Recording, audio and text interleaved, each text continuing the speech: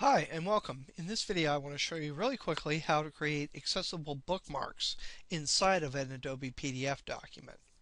You can see here I've got a very simple document that has a few headings inside of it. Now if you initially created this document using Microsoft Word and you used heading styles inside of Word, these bookmarks will automatically be created for you.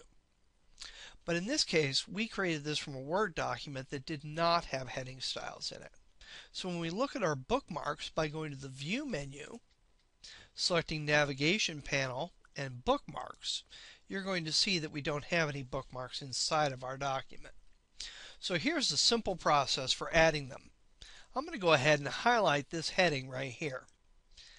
And once I do that, I'm going to go ahead and come to this icon right here. And you're going to see it says New Bookmark there. When I click that, a new bookmark is created in the document and it's given the same text as whatever heading you highlighted. So I'm just going to go ahead and simply hit enter because that's what I want to call it. And now I have my first bookmark in my document. You can go ahead and make this section smaller or larger also, depending upon what you're looking at. Now I'm going to go ahead and scroll down in this document, and I've got a few more headings here.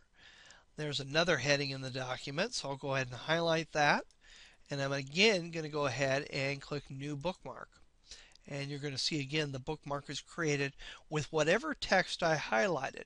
If I didn't want all the text to be in the bookmark, I could simply at this point go ahead and delete it or edit it however I want. Or, and I'll go ahead and delete that bookmark. You'll see that really quickly. I just right click on it and select delete if I had only highlighted a certain portion of this and then hit the new bookmark button, you're going to see only that text is included there.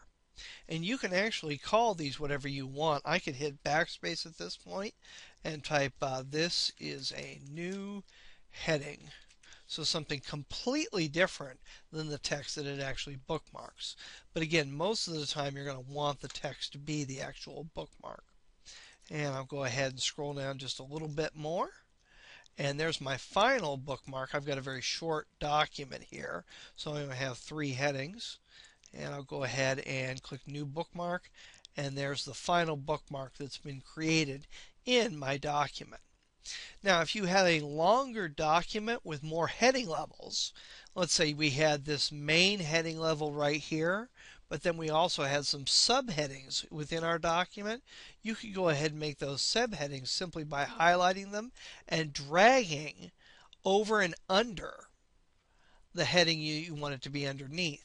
And you're going to notice if you look in the navigation pane right now as I'm dragging, you'll see that dotted line with the arrow on it.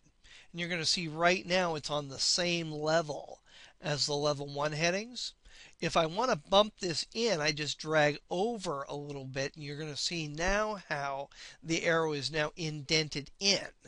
So if I release at this point, you're going to see that that became a subheading underneath this. And again, to use these bookmarks, you can just simply click on them.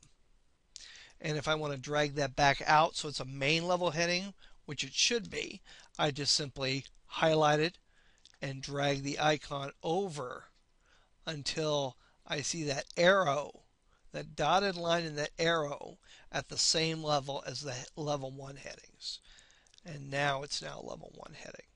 And you can even reorder these. I could go ahead and drag this down so that it's below that. Don't know why you would want to do that, but you can do it. And I'll go ahead and drag that back up. And again, I want to make sure that arrow and dotted line indicate the correct level for the heading. So that's really simply how you create, delete, and change the level of different bookmarks within your document. Also, if after the fact you wanted to edit one of these bookmarks, you could just simply right click on it and you could say rename and that will highlight the text and I can go ahead and type new text in for that bookmark. So that's all there is to creating accessible bookmarks in a PDF document. And again, if you had created this from a Word document, or actually any document that uses heading styles, those heading styles will automatically be converted into bookmarks for you.